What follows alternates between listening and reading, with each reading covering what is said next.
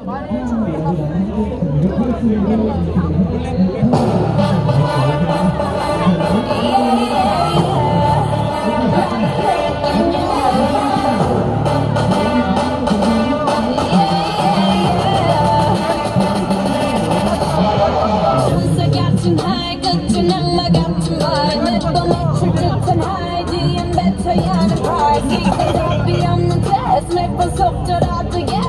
yes 딱한 감정엔 내게 얼어 죽을 사랑해 꿈끼긴 해도 인생 독한 걸로 줘 나란히 뻔한 걸로 달려 나와 임수로 알아서 매달려 벼랑 끝에. 한마디만 더 like 해볼래 해. 따뜻한 떨림이 쏟아간 설렘이 마치 해변가 같지만 이 말은 이르네 Look at me, look at you. 누가 더 예쁘게 You smile.